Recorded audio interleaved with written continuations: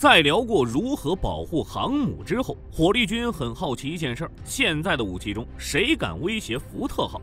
从高超音速导弹到洲际弹道导弹，再到深海的核潜艇，威力越来越猛，似乎只要按下某个按钮，航母这种钢铁巨兽就会沉入海底。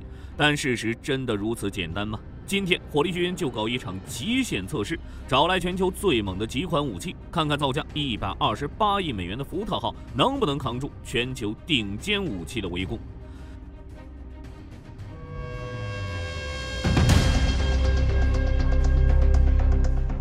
在击沉航母的武器里，呼声最高的是高超音速导弹。很多人都觉得这种速度达到五马赫以上的武器，盯谁谁怀孕。那我们第一回合就先来看看俄制 K 制四七 M 二匕首导弹。这款导弹的杀伤逻辑非常简单粗暴，由米格三一 K 战机在高空发射之后，先被火箭助推到很高的高度，弹道顶点达到大气层之外，类似于一种带有末端机动再入战斗部的弹道导弹，速度能达到十马赫，换算下来大概是每秒三点四公里。对普通人来说，眨个眼的时间，导弹就没影了，根本没时间反应。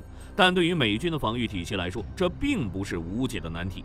假设匕首朝着福特号发射，在点火发射的那一瞬间，甚至还没飞出俄罗斯领空，美军的天基红外系统卫星就已经捕捉到了它的红外尾焰。这就像是在黑夜里点亮了一根火炬，位置瞬间暴露无遗。紧接着，大气层外的拦截就开始了。福特号从不单独行动，它的护航保镖伯克级驱逐舰搭载了最新的 SPY 六有源相控阵雷达，这东西的灵敏度是老款 SPY 一雷达的三十倍，能在几千公里外死死咬住目标。在高超音速导弹还在爬升或者中断飞行的时候，标准三 Block 二 A 导弹就已经直接升空了。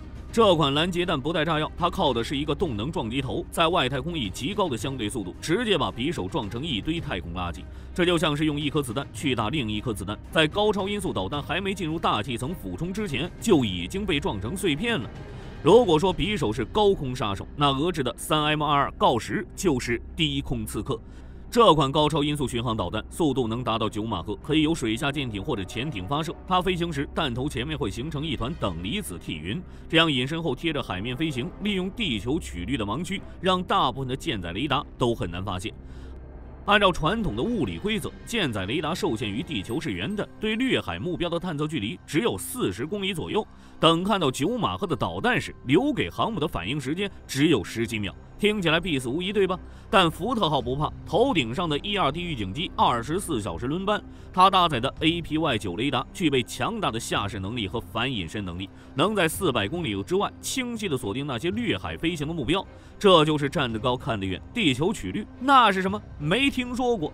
发现来袭目标后，紧接着就是 A 射 B 导，通过 TTNT 高速数据链，直接指挥前出的护卫舰发射导弹。福特号甚至都不需要开雷达，也不需要自己动手，护卫舰发射的 SM 六导弹就能在几十公里外拦截锆石。第一回合测试的结局很明显，锆石的速度再快也快不过数据链。当他以为自己很安全的时候，航母的保镖已经把刀架在他脖子上了。这种体系化的防御让单纯的速度优势并不能击毁福特号，这都是有实力的。在乌俄战场之上，乌克兰当前的防空力量都可以拦截匕首，防御体系更完善、性能更强的美国，拦截率只会更高。如果常规的高超音速导弹打不透，那能不能来点更猛的？比如直接上洲际弹道导弹，用核武器的运载工具来打航母，听起来像是降维打击，实际上也是困难重重。第二个回合，福特号要面对的是来自俄罗斯的顶级重器——洲际弹道导弹 RS 二四伊尔斯和 RS 二八萨尔马特。他们原本的设计目标是毁灭城市，现在被拿来炸船，威力肯定是足够的。其中的 S 二四亚尔斯采用陆基机动发射，携带分导式多弹头，主打一个神出鬼没，让你根本不知道它从哪儿冒出来。而 RS 二八萨尔马特，也就是传说中的撒旦二号，威力更大。这款导弹重达两百吨，是世界上最大的洲际导弹，号称能携带先锋高超音速滑翔弹头，射程高达一点八万公里，能绕过南极攻击美国。俄国防部称，它是当今世界威力最强、射程最远的导弹。普京和国防部都说，萨尔马特有能力克服所有现代反导防御系统。一般来讲，这种战略级武器能对航母打击群所在的整片海域造成毁灭性的后果。但是，请注意，这只是理论上。面对这种天降轰炸，福特号的应对策略依然是中断拦截。加上一个能让导弹绝望的物理规则——移动靶悖论。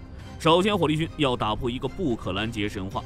很多人以为洲际弹道导弹是无解的，但美军早在2020年的 FTM-44 演习中就已经成功用标准三布洛克 2A 导弹击落了一枚模拟洲际导弹的靶弹。这意味着福特号护航的伯克级驱逐舰具备在大气层外把弹头撞碎的能力，只要你的弹头还没变轨，就是活靶子。其次，洲际导弹从俄罗斯腹地飞到大西洋，起码需要二十到三十分钟。这期间，福特号以三十节的速度狂奔，能跑出去将近三十公里。洲际弹道导弹的设计初衷是用来打城市、发射井这种固定坐标的，除非它拥有极其先进的末端寻地头。需能够在大气层内进行复杂的机动变轨去找船，这在技术上是非常难实现的。而且载入大气层时的高温黑障会屏蔽大部分传感器的信号，导致导弹很难看清移动的航母。在茫茫大海上，三十公里的误差足够让福特号安然无恙，除非你愿意用几十枚核弹头把整片海域煮沸，否则大概率只能炸个寂寞。对于俄罗斯来说，以上还是最好的情况。让火力军来说，最有可能出现的是，福特号不需要开雷达，光靠俄军的后勤品控就能躺赢。虽然 RS-28 萨尔马特吹得震天响，但现实却很骨感。就在最近的普列谢茨克发射场测试中，这枚被寄予厚望的导弹给普京展示了一波烟花秀。试射五次，自己炸了四次。这款号称最强的导弹，目前最大的战果仅仅是成功击毁了自己的发射井。想要用它打福特号，俄军得先祈祷这枚导弹在点火的时候别把自己人给送走了。既然硬碰硬的弹道导弹打不准，速度快的高超音速导弹会被拦截，那就玩阴的。毕竟在现代战争中，看不见的敌人才是最恐怖的。这第三回合的代表选手是挪威和欧洲联合研制的 NSM 导弹。这种导弹在欧洲非常流行，美军自身也有这种隐身导弹，包括 AGM-158 GSSM、GSSM 一 R 型隐身巡航导弹、AGM-158 XR 新型隐形空射巡航导弹等，在现代战争中具有重要的战略价值。这款导弹不追求极速，只有亚音速，它追求的是极致的隐身和智能。全复合材料的弹体加上独特的外形设计，让它的雷达反反射面积小的几乎看不见，就像一只海鸥一样，在雷达屏幕上几乎是。一片杂布，而且它采用红外成像制导，全程无线电静默，不发射雷达波，也不主动暴露位置，静悄悄地摸上来，主打一个出其不意、远程精准打击目标。不过，即使是美军自己的隐身导弹，也不能对福特号造成任何伤害。面对这种暗杀，福特号也有它的独门绝技，它是美军唯一装备双波段雷达的航母，也就是 SPY 三 X 波段加上 SPY 四 S 波段雷达，这对组合加起来什么都能打。普通的宙斯盾舰用的是 S 波段雷达，波长较长，看隐身目标比较吃力。但福特号上的 SPY 三是 X 波段多功能雷达，波长短，而且精度极高，专门设计用来抓这些贴海飞行的隐身小目标，灵敏度和解析度比老式的宙斯盾雷达高出几个量级。哪怕你是一只贴着海面飞的铁鸟，也逃不过它的眼睛。而且一旦发现了隐身导弹，水面电子战改进计划系统就会立刻启动。这可不是简单的干扰信号，它是利用最新的 AESA 天线发射高功率的定向微波，直接烧毁来袭导弹精密的红外导引头。隐身导弹以为自己是穿夜行衣的刺客，结果刚出门就被探照灯照得通亮，然后眼睛还被高能激光给晃瞎了，变成了无头苍蝇，最后只能一头栽进大海里。所谓的隐身突防，在绝对的感知能力和软杀伤面前，也只是个笑话。天上飞的都试过了，全都无功而返。那水下游的呢？毕竟海水是最好的掩体，这也是武器最后的机会了。核潜艇加上核鱼雷，这套组合拳听起来确实够吓人。比如俄罗斯水下技术的最顶峰——北风之神核潜艇，这艘潜艇水下排水量高达二点四万吨，体型非常庞大。它装备了十六枚布拉瓦潜射洲际导弹，每枚导弹还能携带多枚核弹头，射程在八千至一万公里之间，覆盖范围广泛且威力巨大。俄军宣称，它采用了泵喷推进器和先进的声学涂层技术，使得潜艇噪音控制在一百零八分贝以下，号称比美国的俄亥俄级核潜艇还要安静，是大洋深处的幽灵。核潜艇携带的波塞冬核鱼雷也不简单，核动力核弹头能潜入一千米深海，航速高达是一百节。目前反潜声呐的探测深度最多仅限于五百米。面对在一千米深海航行的波塞冬，几乎没有探测能力。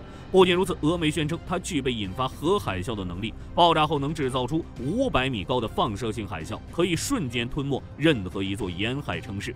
想象一下，如果北风之神在数千公里外悄悄释放波塞冬，试图在福特号船底引爆，来一场天灾人祸。对此，火力军只能说，这剧本写的确实不错。那个传说中的五百米海啸，很多人都被骗了。海啸只有在靠近浅海和岸边的时候，因为海底地形变浅，能量堆积，才会卷起巨浪。在几千米深的开阔大洋上，海啸的波高可能只有几十厘米到一米，能量虽然大，但是以涌浪的形式存在。这对一艘十万吨级的钢铁巨兽来说，感觉就像过了一个大一点的减速带，船体晃一下而已。福特号甚至都不需要规避，只用开启三防系统，防核、防声、防化，冲个澡，洗洗辐射，接着奏乐，接着舞。所谓的末日海啸，不过是吓唬人的噱头罢了。如果是发射普通鱼雷打击福特号，难度有点大。美军的综合水下监视系统覆盖范围也非常广，北风之神出港的时候，可能就已经被听到了。即使做不到这点也没事儿，福特号装备了 CAT 反鱼雷系统，这是专门用来拦截来袭重型鱼雷的，就像在水下打反导一样。而且在现代反潜体系下，潜艇一旦发起攻击，往往就意味着自杀。每一艘北风之神的屁股后边，大概率都跟着一艘美军的海狼级或者弗吉尼亚级攻击核潜艇。在发现北风之神后，美军就会使用马克四八 ADCAP 重型鱼雷，先把对方的耐压壳给咬碎。如果单挑打不过，那就群殴。这是目前最流行的饱和式打击。如果以上这些武器像机枪发射子弹那样一起来，福特号或许真的拦不完，但也无所谓。如果是常规武器，即使福特号一动不动的在原地让他们炸，也不一定能炸沉。二零零五年的时候，美国为了测试航母的抗沉性，对小鹰级航母进行了狂轰滥炸，各种导弹、鱼雷、炸弹轮番上阵，甚至在关键部位安放了高能炸药。结果整整炸了二十五天，这艘航母还是没有沉没。最后不得不由工兵登舰安装炸药，以自爆的形式才勉强把它弄沉。这还是在没有损管人员、没有人去灭火、没有人去堵漏的情况下。如果是实战中有几千名训练有素的损管队员在，这艘航母更牢固了。小鹰级都这么扛揍。更别说使用 HSLA 幺幺五特种高强度钢的福特号了。这种钢材以前是用来造核潜艇耐压壳的，强度比二战时期的装甲钢高出数倍，重量更轻，韧性更强。常规导弹打在上面，顶多开个口子，根本伤不到核心的龙骨和反应堆。而且福特号的水密隔舱设计更加科学，阀门和管道控制高度自动化，一旦监测到进水或火灾，中央电脑会在毫秒级内切断管路，释放灭火器。那么到底要多少火力才能彻底击沉福特号？先说结论，除非是被大当量的核武器直接命中，否则想要靠常规武器击沉福特号，这就意味着得把一个中等军事强国的全部反舰库存一次性打光。火力军在这里给大家做一个估算：如果使用五百公斤级 TNT 当量的常规战斗部，想要让福特号失去战斗力，比如甲板受损、弹射器卡死，至少需要十到十五枚重型导弹全部突破拦截，并精准命中要害。但如果你想把它彻底击沉，让这十万吨的钢铁沉入海底，你面临的是一个物理学难题。福特号拥有数千个水密舱，储备浮力惊人。根据计算机模拟，至少需要四十到五十枚重型超音速反舰导弹，或者十枚以上的重型鱼雷，在短时间内连续命中同一侧水线以下部位，才有可能撕裂足够大的伤口，让进水速度超过排水速度。